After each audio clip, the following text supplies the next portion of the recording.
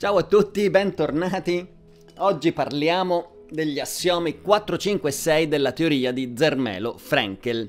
E questi assiomi ci permettono di fare varie costruzioni importanti con gli insiemi e soprattutto ci permettono di andare verso gli assiomi 7, 8 e 9 che sono i più carnosi. Ma prima di cominciare iniziamo con un piccolo riassunto di quello che abbiamo visto negli assiomi 1, 2 e 3 così che chi non ha visto i video può seguire il video di oggi e chi li ha visti fa sempre bene un piccolo ripasso. Cominciamo col riassunto. Vi ricordo che l'assioma 1 dice che due insiemi sono uguali se e solo se hanno gli stessi elementi. Fondamentalmente questa è la definizione di uguaglianza. L'assioma 2 dice che non può esistere una catena infinita di insiemi, A1, A2, A3, A4, eccetera, tali che A1 ha come elemento A2, che ha come elemento A3, che ha come elemento A4 e così via per sempre. Questo non deve e non può succedere.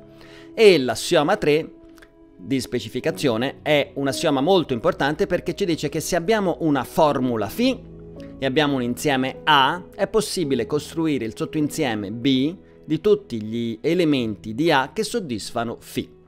Questo è l'assioma di specificazione. E allora veniamo all'assioma 4, il primo assioma che vediamo oggi e non ci crederete ma dice una cosa molto semplice. Dice che se hai due scatole di Amazon puoi infilarle dentro a una scatola più grande. Giuro, dice questo. Vabbè, in maniera un pochino più formale, che ora vi faccio vedere. Vediamo allora l'assioma 4 o assioma della coppia detto a parole. Se hai due insiemi A e B, puoi creare un nuovo insieme i cui unici elementi sono A e B. Quindi posso creare l'insieme C i cui elementi sono solo A e B. Per ogni A e per ogni B esiste C, tale che per ogni elemento X, X appartiene a C se e solo se x è uguale a o x è uguale a b. E già che ci siamo vi faccio notare che con l'assioma della coppia non è solo possibile costruire insiemi con due elementi, ma anche insiemi con un elemento solo.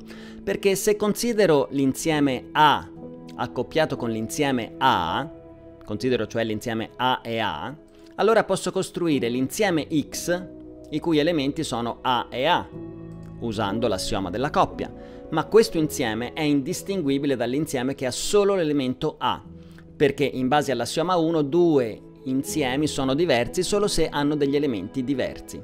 Quindi in questo modo posso costruire l'insieme che ha come solo elemento A. Vale la pena ricordare che quello che abbiamo definito sono le coppie senza ordine perché l'insieme che ha gli elementi A e B è la stessa cosa dell'insieme che ha gli elementi B e A. E allora se invece voglio considerare le coppie con ordine, cioè le coppie in cui l'ordine conta, e vorrei che fosse vera la proprietà caratteristica delle coppie con ordine, cioè che se ho due coppie A e B e C e D, queste sono uguali se e solo se A è uguale a C e B è uguale a D. E allora possiamo chiederci come posso definire le coppie con ordine se per le mani ho solo gli insiemi e gli assiomi. Premete pausa se volete pensarci un secondo perché adesso vi do una delle possibili definizioni di coppia ordinata. Eccola qua. Una coppia ordinata con gli elementi A e B è l'insieme che ha come primo elemento A e come secondo elemento l'insieme con A e B. Questa è una possibile definizione di coppia ordinata e lascio a voi da dimostrare che questa definizione di coppia ordinata soddisfa la proprietà caratteristiche delle coppie, che è quella che abbiamo appena scritto. E attenzione perché nella dimostrazione sarà necessario l'uso dell'assioma 2. Scrivete la vostra dimostrazione nei commenti se riuscite a trovarla. E allora andiamo con l'assioma 5. L'assioma 5 dice che se ho un barattolo pieno di barattoli di caramelle, eccoli qua, posso buttare via i piccoli barattoli di caramelle e lasciare che le caramelle si mescolino dentro al barattolo grande. Questo è l'assioma 5 e al solito vediamolo come si scrive a parole. Assioma 5 o dell'unione. Se hai un insieme F, detto anche famiglia, i cui elementi sono insiemi, allora puoi creare l'insieme i cui elementi sono tutti gli elementi di tutti gli insiemi in F. Vediamo come si scrive in maniera formale per ogni f esiste b, tale che per ogni x, x appartiene a b se e solo se esiste un insieme A in f e x appartiene ad A. Questo insieme B lo si scrive come unione sull'insieme F o anche unione di tutti gli elementi A di F. E allora mi chiedo, posso fare l'unione di due insiemi qualunque A e B? E la risposta è sì perché in base all'assioma 4 posso mettere questi due insiemi dentro a un insieme più grande e quindi adesso posso fare l'unione sull'insieme F e ottenere l'unione fra A e B. E adesso vediamo un'animazione carina che ci fa vedere che con gli assiomi che abbiamo fino a qua possiamo costruire gli insiemi finiti. Supponiamo di avere tre elementi ABC e di voler costruire l'insieme con questi elementi. In base all'assioma 4 posso costruire l'insieme con gli elementi A e B e l'insieme con il solo elemento C e in base all'assioma 4 posso costruire l'insieme che ha questi insiemi come elementi. Adesso applicando l'assioma 5 posso creare l'unione su questo insieme e ottenere l'insieme con gli elementi A, B e C. Se adesso ho un altro elemento D posso costruire l'insieme con il solo elemento D e se lo metto in coppia con l'insieme precedente posso applicare l'assioma 5 e ottenere l'insieme con gli elementi A, B, C e D. E ovviamente posso continuare a ripetere il processo un numero finito di volte. Se ho un elemento E lo posso mettere in coppia e posso fare l'unione eccetera eccetera e creare così insiemi con un numero finito di elementi. E posso continuare così per quante volte voglio, non ci sarebbe bisogno di andare avanti, ma le animazioni di Manim sono molto carine e quindi la lascio correre per un altro pochino. Eccola qua.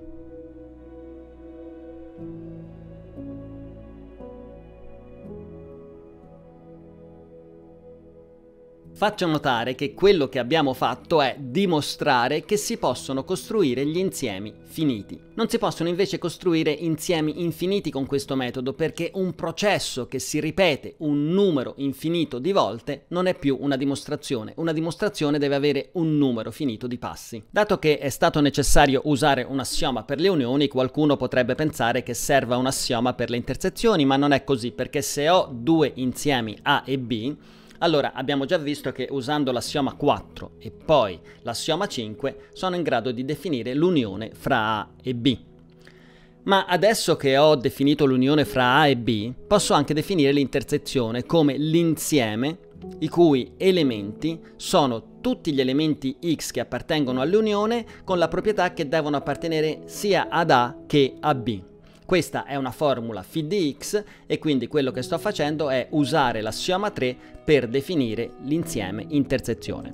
Questa definizione la posso dare anche più in generale per un insieme qualunque, una famiglia qualunque di insiemi purché non sia vuota. Se ho una famiglia qualunque di insiemi A, B, C, D, E, eccetera, posso definire l'intersezione come l'insieme degli elementi x che appartengono ad A e che appartengono anche a tutti gli altri elementi della famiglia. Vediamo allora cosa dice l'assioma 6.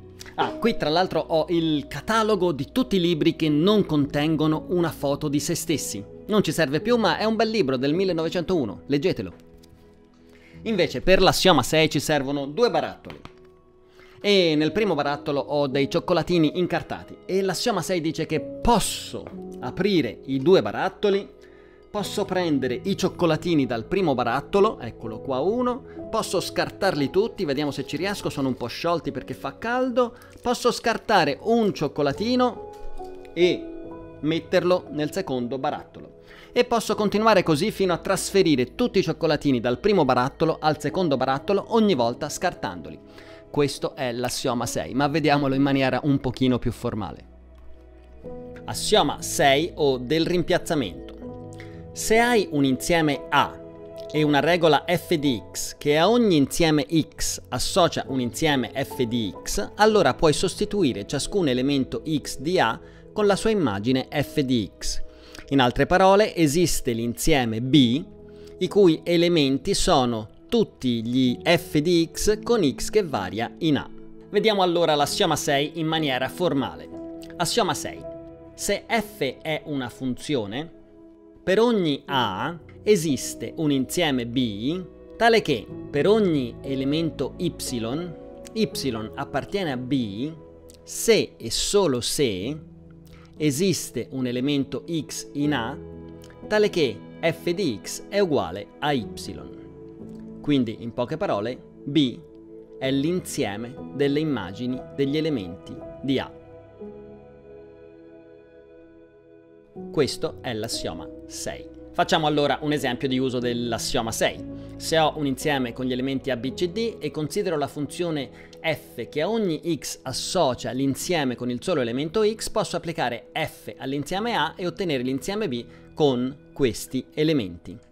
Ovviamente questo potrei farlo anche senza usare l'assioma 6 perché si tratta di un caso finito, ma se per esempio considero l'insieme dei numeri naturali, che ancora non abbiamo definito, se considero l'insieme dei numeri naturali posso applicare f all'insieme dei numeri naturali e ottenere questo nuovo insieme. E questo non sarebbe possibile senza l'assioma 6.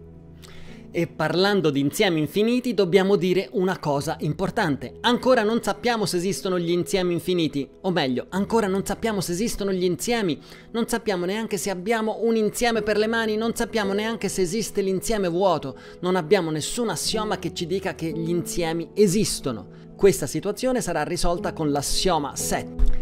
L'importante assioma 7 che vedremo nei prossimi video. E prima di finire vorrei salutare Silvano Mattioli, prof di mate online, God Hell e Luciana Licchelli che hanno lasciato commenti molto carini e se anche tu sei arrivato alla fine del video puoi lasciare un commento che finisca per Q e D e ne sceglierò alcuni da salutare la prossima volta. E con questo è tutto e ci vediamo alla prossima. Ciao!